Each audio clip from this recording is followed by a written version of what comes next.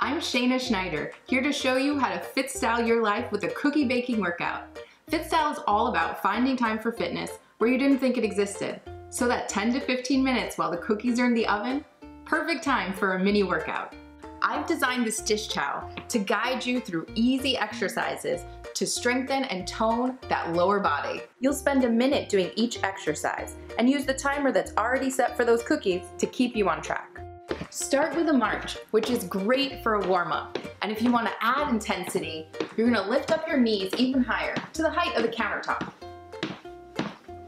For leg lifts, stand with your feet hip distance apart and slightly bend your knees.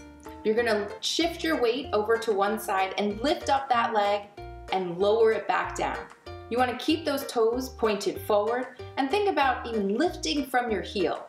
Only lift as high as you can go without tipping over. We don't want any teapots here. And don't forget, you're gonna do that for a minute and make sure you do the other side. For plie, stand with your feet in a V shape.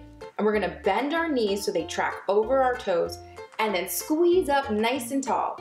So that way we're working our inner thighs.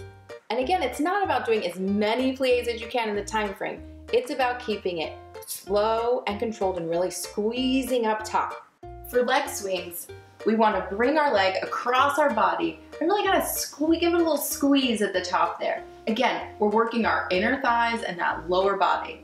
And if you want a little bit more of a balance challenge, try not to hold on to that countertop. Ooh, I can already feel it a little bit. And don't forget, you want to do your right side and that left side. For squats, we're gonna stand with our feet hip distance apart. And then we're gonna sit down as if there's a chair back there. And we're gonna squeeze all the way up. And when we get low, we wanna make sure that that weight is in our heels so we can kind of wiggle our toes and bring it all the way up. Now it's not about how many you can do, but making sure that it's slow and controlled and that you really give that little squeeze up at the top. Now for an additional challenge, you can hold that squat down here. This is an isometric hold. This is a great time to peek into the oven and make sure those cookies aren't too golden brown. Use this cookie baking workout to fit style your life so you can bake those cookies and eat one too. To get the cookie baking workout dish towel or for more fit style tips, head to my website at fitstylebyshana.com and follow me on social media at fitstylebyshana.